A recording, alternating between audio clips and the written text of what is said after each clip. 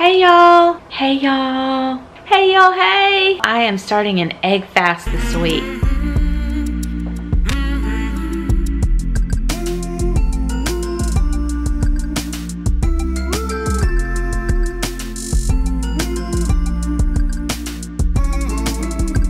I am doing an egg fast this week. I'm doing a three day egg fast. I've done it one other time and I just really, really felt good.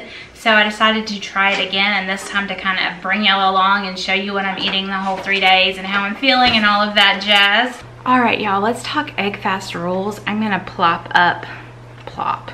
I'm gonna put up on the screen the egg fast rules here. Egg fast rules that I am following, y'all. I am going to have up to six eggs a day. With each of those eggs, I'm gonna have a tablespoon of fat and I can have up to four ounces of cheese a day.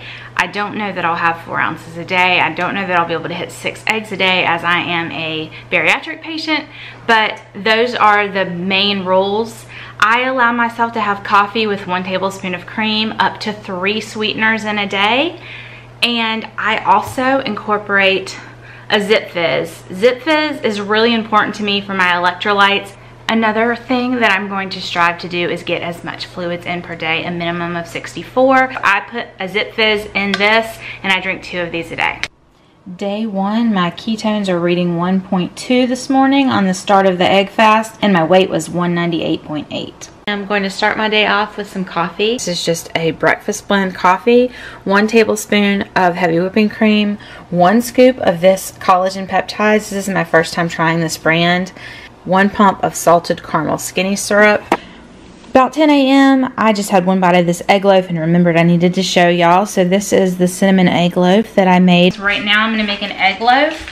And the way you make an egg loaf is one part egg, one part cream cheese, one part butter. I'm gonna do five, five, five ratio. So I'm going to do five ounces of cream cheese, five tablespoons of butter, and five eggs. You just put it right into your, I can't think y'all. What is this? I'm just gonna put it right into the Ninja. Egg loaf is super easy to make. Probably should have turned the oven on and do that real quick. And then I'm also gonna make an egg casserole that is actually for the kids for breakfast. But that way we can use the oven one time for both, right? I'm gonna add half a teaspoon of baking powder. I am going to use some cinnamon. You can use as much as you want of this. You don't even, I'm not gonna measure, I'm just gonna dump in some. And then I'm gonna do just a little pinch of salt. For the sweetener, you could put some stevia, you could put stevia drops, you could put erythritol, you could do whatever you want. I'm just gonna use uh, Jordan Skinny Syrup because I have it. This is caramel pecan, and I'm just gonna do a couple pumps. When you're doing an egg fast, you wanna use the best ingredient, the best quality ingredients as you can get. These are from my friend's backyard. I have a couple things I'm gonna do with this this week. We're not just gonna eat it the one way. I will show you as the week progresses. Just sprinkle a little more of the cinnamon sugar mixture right on top. I'm gonna set this to the side while I make an egg casserole. Usually I do 8 to 12 eggs, either heavy cream, heavy whipping cream or milk. This is just whole milk for the kids. Then I'm just gonna whisk this up with some salt and pepper and some spices, throw in the veggies, and then it'll be ready to go. Dump it right in. And that was my oven beeping to tell me I'm ready. Perfect timing. These are both going in, egg loaf and egg casserole.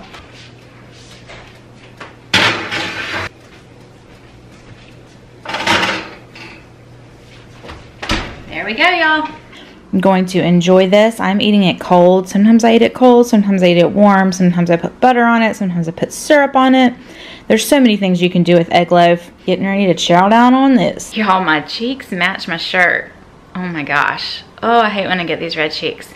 Anyways, y'all, the next thing we're gonna do is do a little bit more food prep. So we're going to make some hard-boiled eggs and then make some egg salad. Let me show you how I do that. Use the Instant Pot to make some hard-boiled eggs. This little insert comes with your Instant Pot. You wanna put that down in there. Plop them right down onto this tray. I'm just gonna do six today, but I, you really could fit all 12 right in here if you wanted to. Add a cup of water. Top on, sealing. The next thing that we're going to do is we're going to hit manual. It's going to go for five minutes and then we are going to let it natural release for five minutes and then we will plunge it into an ice bath for five minutes. First two stages, the five minutes and then the five minutes In the Instant Pot, very important that you measure your time on that. If you go over, your insides of your eggs will not be a pretty yellow. They'll be that ugly green. But this ice bath part is a little more forgiving. I wanted to show y'all how easily these peel. Look at that. But look how bright and beautiful and yellow that is. The perfect hard-boiled egg, y'all. Just gonna make a quick egg salad. This was six eggs. We're gonna add some mustard. You can use any kind of mustard you want. I just felt like using this horseradish. Usually to egg salad, I use diced dill pickles, but that's not on my egg fast, so I'm just adding some dill weed. I'm gonna add some salt and some pepper. Chosen Food mayonnaise is what I'm going to use. And add one more. You can do up to a tablespoon of fat per egg. Doesn't that look wonderful, y'all? I am going to add one tablespoon of red wine vinegar. You could do apple cider vinegar. Since we don't have the dill pickles with the dill pickle juice, I feel like it needed just something. That's much better. Again, egg salad is always way better after it's been in the fridge for a little while, but you want to taste as you go anyways. Egg salad, yum. For lunch, I'm going to make an egg cheese pizza. And the way you do that is with one egg, three-fourths a cup mozzarella, a fourth a cup of Parmesan. You can use the grated, but I had this Parmesan, so I'm just using that. And then you spice it up however you want. To make it taste kind of like garlic bread, cheese pizza-y, I added some of this garlic and onion spice blend. Also a little bit of salt, a little bit of pepper, and a little bit of just Italian seasoning. I'm to stir all this up, and then we're to bake it. I just used a wet hand and spread this out as thinly as possible. My egg cheese pizza right out of the oven. I just picked it up on the parchment paper. Super, super pliable.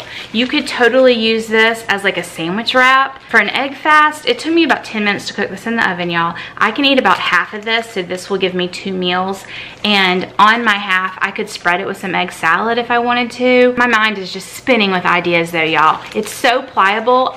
I could use this as layers in like a keto lasagna or a wrap for keto enchiladas. It's a really high protein, good fat ratio. This is such a cool thing. I will put the recipe down below. I found it on Instagram. I love it. Love it. It is about 4.50 and I am having another serving of egg loaf.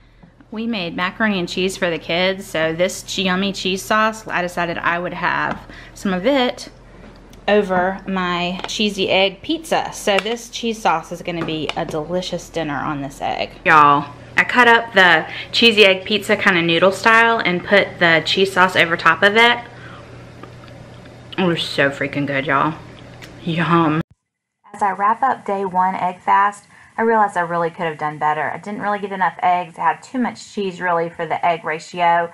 Could have had a little bit more fat even. I was trying to make all these neat recipes and I really enjoyed doing that. But tomorrow I'm going to focus on getting a more perfect rounded day. Hey y'all, it's Tuesday morning. I'm checking in. Yes, I'm still wearing my same shirt from yesterday. I slept in it and I'm still wearing it and I'll probably wear it all day. So I started my day off with a coffee, two scoops of collagen, so that's 20 grams of protein, a little bit of heavy cream and a little bit of sweetener. That was around 9.30 this morning. I didn't eat till around 11 o'clock. I had this idea to make bread pudding out of egg loaf. I just cubed the egg loaf up. I made a little sauce, poured it over it, and heated it up in the oven. Here's the bread pudding. I'm gonna have this for breakfast. Let me taste it. Oops. That's pretty good, y'all. Pretty good. I am going to be working on this. I think I know what I need to do to make it more like actual bread pudding, but it is definitely like a dessert. I probably wouldn't be able to have more than a couple of bites of it. Okay, I lied. I ate three-fourths of it, y'all. It was decadent. It was delicious. I ate more than I should have of it. I have not been hungry at all today, but it's a little after 2.30 and I feel like I need to eat some lunch. So this is the egg salad that I made yesterday. These are my favorite bowls. I got these from my sister-in-law for Christmas. They are my favorite. So this is a really small container. You can see how small it is with me holding it in my hand.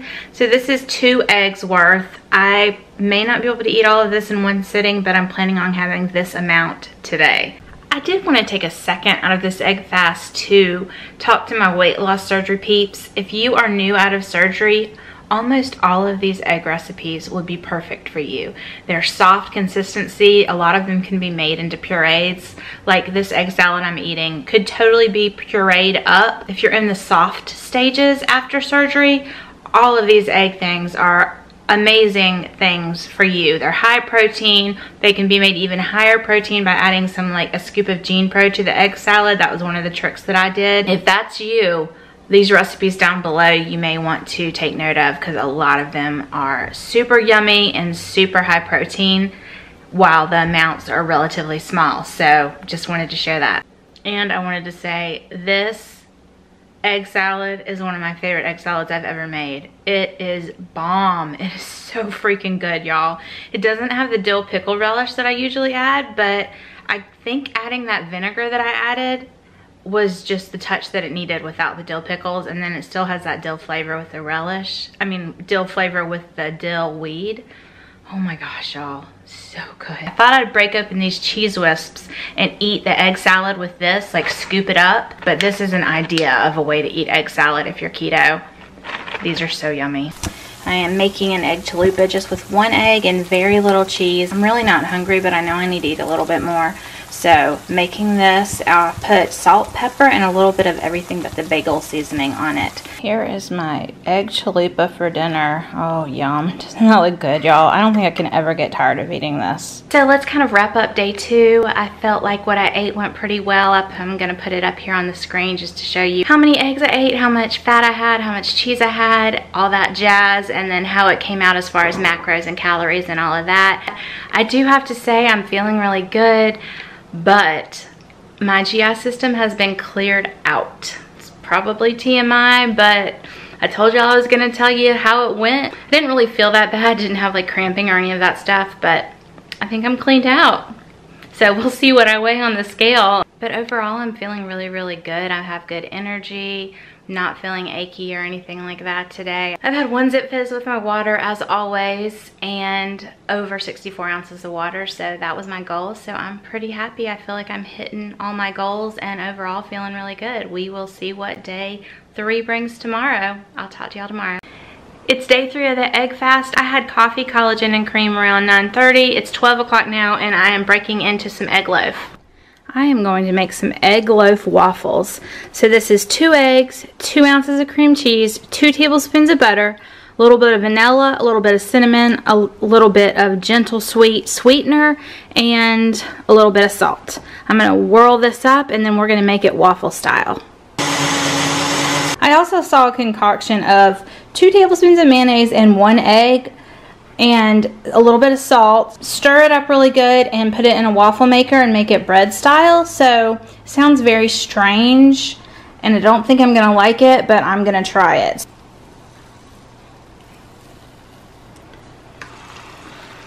We're to shut this and see what happens. I made a quick icing. This is just cream cheese, butter, and cinnamon and gentle sweet. I'm to put this on top of my waffle. I've smeared my frosting. This is on the egg loaf. Smeared some frosting on the mayo and egg. This one is a lot crispier and sturdier. I can see how you could make this into like a waffle sandwich. This one is very, very flimsy. Very flimsy, but I'm sure it'll taste good. I'm gonna taste test both of these for you. This is the egg loaf. It's all right. I wouldn't make it in waffle form again. It was something unique and truthfully it was super, super fast but it doesn't have the same taste and texture as when you bake it in the oven. I would definitely recommend the egg loaf in the oven. Okay, let's try the next one. Here's the next one. I'm gonna taste it first without the frosting. It's a little strange. This one sounded strange to me, but so strange that I felt like I needed to try it. All right, let's try it with the frosting. Ugh. Don't make that one, y'all. I'm not even going to include that recipe. Mm, it just tastes like mayonnaise. It's not good. This will be going in the trash. The egg loaf one is definitely worth eating, but I would not recommend it compared to the oven. I wanted to talk about a few different options for the egg fast that I'm not to get to make but are on my list to try in the future. These are mostly things I found on Instagram, so the ones that I can give credit, I will. One is an egg custard. I make custard often. I make a couple different custards. One is just a plain white vanilla custard. It is super yummy. And then there's a quick stovetop one that I make that is, a, it's called a hot chocolate custard. It is quite delicious and is even easier than the one for in the oven. I will definitely include all of these recipes down below. The next one is Egg Fast Lemon Bars. These look so good. Definitely like a dessert. I guess you might could eat it for a breakfast. They look really, really good. Definitely on my list to try. Egg patties. These are quite interesting and I'm interested in trying these too. I may actually make these for dinner. What she did was take egg salad and make it into patties and fry it up in butter and eat it like that. And they look really, really interesting. So we may try that for dinner. If I do, I'll share it with you. Then Snickerdoodle Crepes. I Breathe, I'm Hungry is where those come from. I love all of her stuff and I really want to try those. They seem really similar to an egg loaf just made crepe style. The next thing is egg drop soup. I do not advise getting it out at a restaurant because they put thickeners in it that have lots of carbs, but you can totally make one homemade at home with just like some broth. Stir up some eggs really good and then put it into a stirring pot of boiling water. That works really well and that would be a tasty alternative that's not quite as breakfasty eggy. And then of course there's always deviled eggs. There's always hard-boiled eggs. Both of those I make often. And then there is this egg drink concoction. It's like a shake. I have been a little hesitant to try it, but it's an idea and people say that it's delicious. So there's that. And then there's these little beautiful egg clouds that are like almost like a meringue with a yolk cooked right in the middle. They are beautiful. They look like they're a little bit more time consuming maybe, but they do look like something worth trying. They're just beautiful. So that wraps up my ideas. Y'all share ideas that you have, things I missed, things I should try, what things you want to try. Let me know down below. Dinner tonight, I am just gonna have this egg salad. It's two eggs worth of egg salad in my favorite little bowl. Total today on day three, I will pop up again my macros and what I ate and all of that so you can see how it went. I feel like today went pretty well. It was pretty easy. I have not been hungry, y'all it was a chore yesterday and today to eat. I love the things that I'm eating. I love eggs. I love everything that I tried pretty much, but I just wasn't feeling it, wasn't wanting to eat. But I got it in and I got my three days done. However, on the scale this morning, I was up a pound. My ring is feeling tight. When my ring feels tight in my finger, I know that I'm bloated. I know I'm gonna be up a pound. This is like my little, it barely fits now. So if it feels tight, I know that I've got some bloating going on. I did not eat any extra sodium at all. I had more water than I usually have, but not that much. So I'm not sure what the deal with that is. I am gonna go ahead and post this tonight, but I will update y'all on Instagram what my final weigh-in is because that will be tomorrow morning but I wanted to get this up tonight. So we'll see if I lose any weight or not even if I don't, uh, last time I did an egg fast, I didn't lose, I lost one pound. But Then by the end of the week on my actual weigh-in day, I had actually lost more than I had in weeks. So I think it kind of jump-started it for me, even though for me, it didn't show up on the scale immediately. Now, egg fast for many, many people will jump-start weight loss, will kick a stall, will speed up some weight loss. A lot of people lose five plus pounds even. I'm never that person on anything that I try, not even on straight fasting. My body just doesn't let go of weight like that. But don't think because I didn't lose a lot of weight that you can't. We cannot compare ourselves. We just got to trust the journey. We got to make good decisions and just keep riding it out. Okay, y'all? So I still really, really encourage you to try it. It's a great little thing to try if you like eggs, if eggs sit well with you. Obviously, if you don't like eggs, yeah, not for you.